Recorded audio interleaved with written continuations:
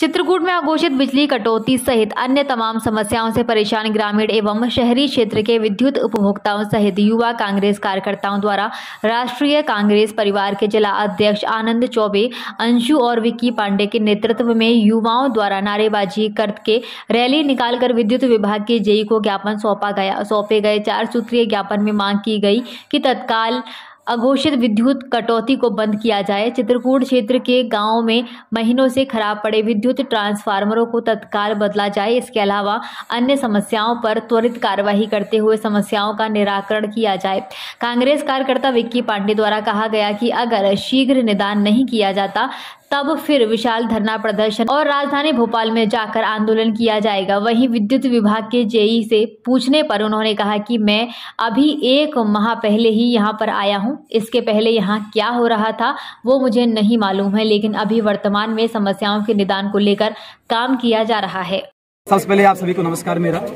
और लगातार चित्रकूट क्या पूरे मध्य प्रदेश में लगातार बिजली कटौती हो रही है, जिसमें आज हम सब यूथ कांग्रेस के कार्यकर्ता और ग्रामीण क्षेत्र से आए सभी युवा, सब मिलकर आज जे महोदय को ज्ञापन दिए हम लोग दिए हैं। सबसे पहले हमारा एक नंबर का समस्या जो था, बिजली की अघोषित कटौती रही है। और कई कई गाँव में ट्रांसफार्म लगभग एक एक साल से बंद है। आज तक उसमें किसी पदाधिकारी ने या किसी अधिकारियों ने वहाँ पे ध्यान नहीं दिया है। नंबर दूसरा क्या है? लसोरिया का ट्रांसफार्म। लगभग एक महीने से लसोरिया का है ना खराब हुआ है जला हुआ है लेकिन उसको भी बदला नहीं गया है।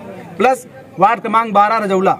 वहाँ पे एक ट्रांसफार्म लगना है और लगभग दो महीने पहले से दे दिया गया है लेकिन अभी तक लाइन चालू नहीं हुई है।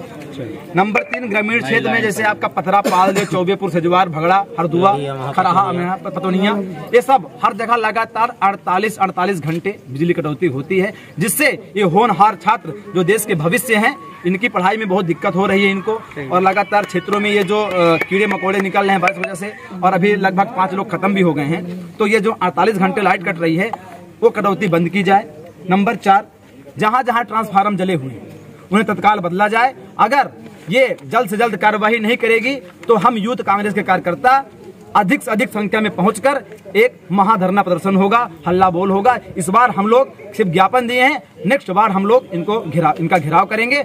और ये घेराव अगर यहाँ से पूर्ण नहीं होती है तो हम सतना और अगर भोपाल भी जाना होगा तो हमारी पूरी टीम भोपाल जाने को तैयार है। धन्यवाद बीते कई महीनों से यही समस्या आ रही है।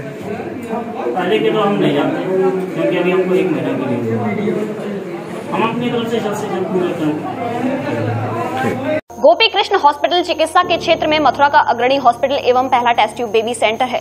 आईवीएफ में 70 प्रतिशत सफलता, स्त्री रोग विभाग में high risk delivery caesarean operation hysterectomy आदि बेहद अनुभवी एवं क्वालिफाइड लेडी डॉक्टरों द्वारा किए जाते हैं। हड्डी रोग विभाग की एडवांस यूनिट जहाँ पर जोड़ प्रत्यारोपण, यानी कि घुटना रिप्लेसमेंट कूलर रिप्लेसमेंट रीढ़ की हड्डी के ऑपरेशन एवं फ्रैक्चर होने पर प्लास्टर सरिया या प्लेटिंग आदि की सर्जरी की जाती है। हर प्रकार की जनरल सर्जरी एवं दूरबीन विधि से हर प्रकार के लेप्रोस्कोपिक ऑपरेशन बच्चों के हर प्रकार के रोगों का इलाज। हॉस्पिटल एनएबीएच से मान्यता प्राप्त है। मॉड्यूलर ओटी एवं हाईटेक मशीनों से फिजियोथेरेपी, एम्स, दिल्ली एवं सीएमसी बेल्योर द्वारा certified pathology. Gopi Krishna hospital में Ayushman card, ESI card, BSNL के कार्ड, रेलवे के कर्मचारियों के कैशलेस इलाज की सुविधा। लगभग सभी इंश्योरेंस कंपनियाँ एवं टीपीआई कार्ड धारकों को कैशलेस इलाज की सुविधा।